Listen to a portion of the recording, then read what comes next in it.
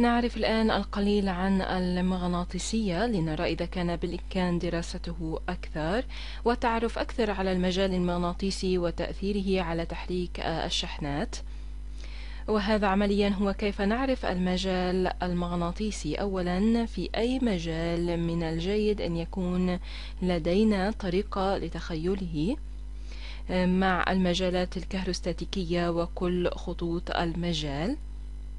إذا لنحاول أن نفعل نفس الشيء مع خطوط المجال. لنفرض أن هذه القطعة المغناطيسية هذا القطب الشمالي وهذا القطب الجنوبي المتعارف عليه في رسم المجال المغناطيسي هو أننا نختار البداية من القطب الشمالي ثم نسير إلى القطب الجنوبي ويمكن إظهاره على أنه مسار مسار القطب الشمالي الأحادي المغناطيسي.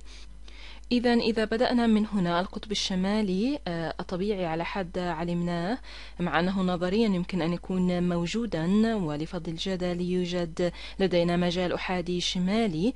إذا بدأنا من هنا سنحاول أن نبدأ من القطب الشمالي إلى القطب الجنوبي.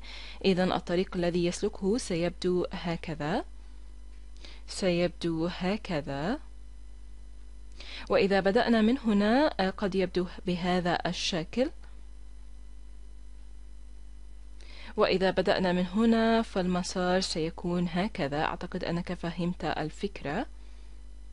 طريقة أخرى لتصوره بدلا من التفكير من الأحادي والمسار الذي يسلكه يمكن أن نفكر ماذا لو لو لدي بوصلة هنا لنرسمه في لون مختلف. لنفرض أننا وضعنا بوصلة هنا.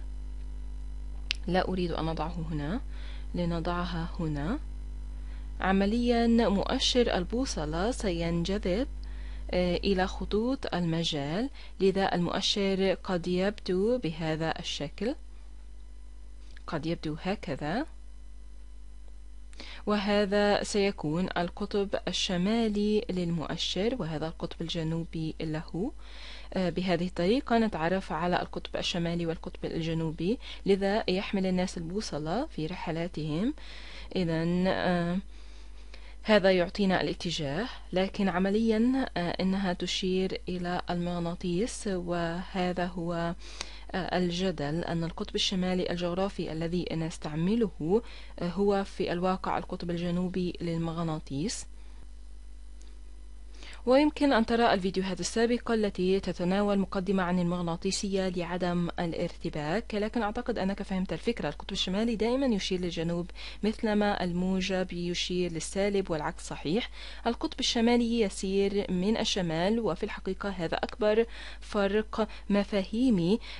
على الرغم من أن هناك خصائص مختلفة جدا ولكن سنرى في نهاية الأمر ليس سوى الشيء نفسه حيث لدينا شيء يسمى القوى الكهرومغناطيسية وسنبدأ بتعلم المزيد عن معادلات ماكسويل ولا داعي للقلق بشأن ذلك في المفهوم التقليدي للكهرباء والمغناطيسية. هما نوع من أنواع القوة والفرق الأساسي على الرغم من أن خطوط المجال هي متشابهة لكن القوى المغناطيسية تكون ثنائية الأقطاب. بينما القطب الكهربائي يكون له قطب سالب واحد موجب ولنجد هذا أنت تقول حسنا لنرسم هذه الخطوط. يمكن أن تكون شاهدتها من قبل إذا وضعت برادة المعادن هنا حيث تترتب بهذا الشكل.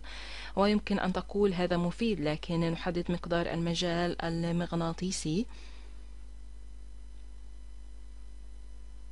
عند نقطة معينة وهذا شيء مثير للاهتمام. مقدار المجال المغناطيسي هو في الواقع يعرف أو يحدد من حيث تأثيره على على تحريك الشحنات وهذا مثير للاهتمام. لقد ذكرت أنه لدينا قوة معينة تسمى المغناطيسية وهي مختلفة عن القوى الكهروستاتيكية. لكننا نعرف المغناطيسية بالتأثير الذي تحمله. على تحريك الشحنات. وهذه فكرة أو مفتاح وسنتعلم لاحقا. أتمنى أننا تعلمنا في الفيزياء المتقدمة أن المغناطيسية أو المجال المغناطيسي هو ليس سوى مجال كهروستاتيكي يتحرك بسرعة عالية وسرعة نسبية ويمكن أن تنظر إليها كأنهما نفس الشيء. لكن من مرجعية لاحقة لا أريد إرباككم الآن على أي حال عودة إلى الفيزياء الأساسية. إذا عرفنا المجال المغناطيسي إذا عرفنا المجال المغناطيسي بي بي وهو كمية متجهة ومجال مغناطيسي نعلم أن القوة التي تحرك الشحنات يمكن أن تكون إلكترون بروتون أو أي شيء آخر من الشحنات المتحركة أو من الجسيمات. وعمليا هذه هي الأسس.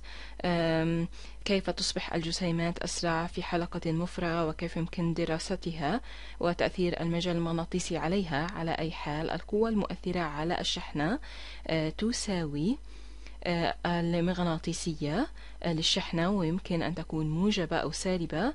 ضرب هنا المهم في الموضوع سرعة الشحنة. ضرب المجال المغناطيسي. إذا تأخذ سرعة الشحنة وتضربها آه، بداية مضروبة في الكميات القياسية حيث تضربها مع المجال ومن ثم المغناطيسية لا يهم إنها مجرد أرقام وليست متجهات. لكن ضروري أن تأخذ متجه آه، متجه السرعة ومتجه المغناطيسية وشحنة آه، ومن ثم تحصل على متجه القوة على الجسيم. الآن هناك شيء يجب ملاحظته مباشرة ويعطيك نظرة على ما هو الضرب المتجهي الذي قمنا به. وهذا شيء مثير للاهتمام. الضرب المتجهي يهتم بالمتجهات العمودية على بعضها. فعلى سبيل المثال إذا كانت السرعة إذا كانت السرعة عمودية على المجال المغناطيسي عندها سنحصل على الرقم. أما إذا كانوا متوازيين فالمجال المغناطيسي لا يحمل أي تأثير على الشحنة وهذا شيء مثير للاهتمام. والشيء الآخر المثير آه، عندما نأخذ حاصل ضرب لمتجهين النتيجة ستكون عمودية على كلا آه، هذه المتجهات وهذا مثير للاهتمام. إذا المجال المغناطيسي حتى يؤثر على آه، الشحنة يجب أن يكون عمودي على سرعته. ومن ثم القوة عليه يجب أن تكون عمودية على كل من الشحنة والمجال المغناطيسي. أعرف أن هناك تشويش في هذه النقطة.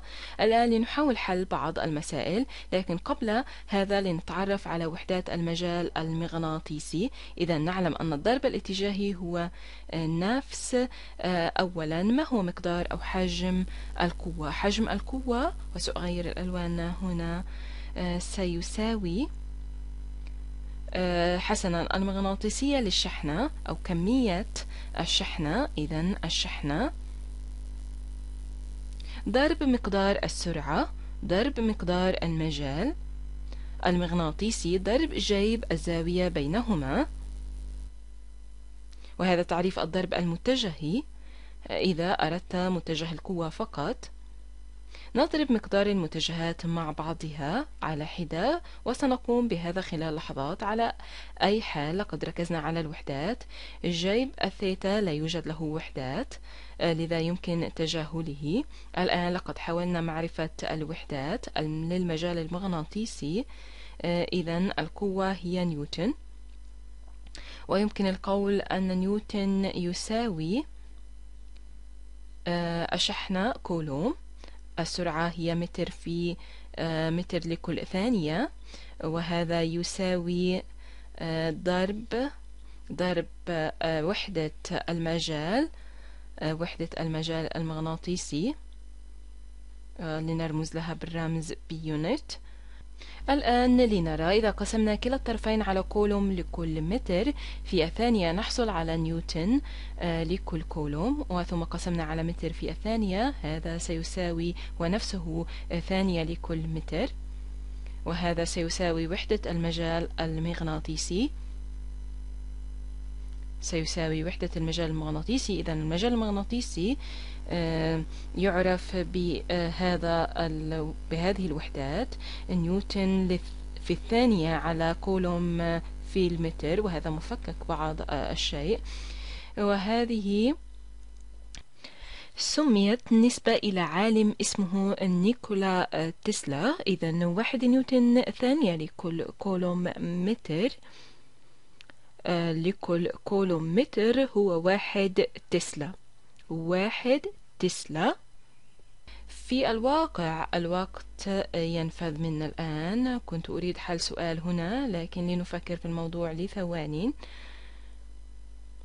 بالرغم أنه في الحياة نتعامل مع المغناطيسية من خلال تعاملنا مع مغناطيس وربما هي في الأساس تختلف عما كنا نتصور أقل من تصورنا آه، عن الكهرباء. لكن المغناطيسية أو وحدات الحجم تعرف بمدى التأثير بمدى التأثير في تحريك الشحنة. آه، لهذا الوحدة تسلا تعرف بنيوتن ثانية لكل كولوم. إذا الشحنة الكهروستاتيكية لكل كولوم متر